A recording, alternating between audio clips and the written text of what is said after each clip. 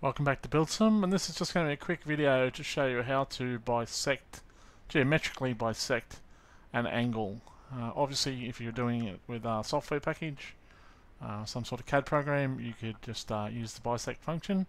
But if you're doing it on paper, you need to be able to bisect your angles, especially the ones that aren't 90 degrees. So you're going to need a compass. That's the one thing you're going to need. So what you do is you start with the, your corner of your angle and you're going to draw a circle.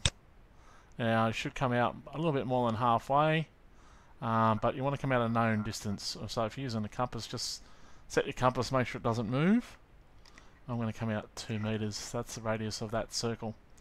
Then wherever this circle crosses the outside of my angle, I'm going to do the same thing, a circle of the same size. So 2 meters there, and it just happens to hit there. So they come out two meters there. So what you can do now is where these two circles meet and the corner that is an exact bisection or half the angle of your corner. So you've now drawn in the correct position for your hip. Oh, done it again. So that is your hip on that side. Then for the other side, you just have to repeat the process. So again, starting on the corner, coming out a little bit more than halfway is good, but as long as there's a known distance, wherever that line crosses the outside, same distance, same radius,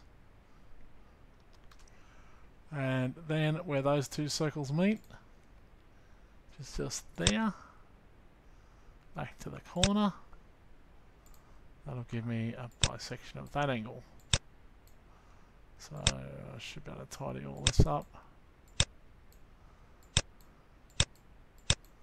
Get rid of that bit.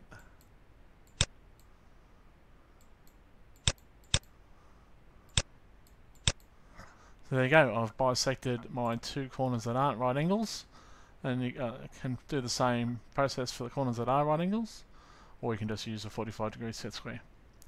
So there you go, that's how you bisect and uh, or geometrically bisect an angle.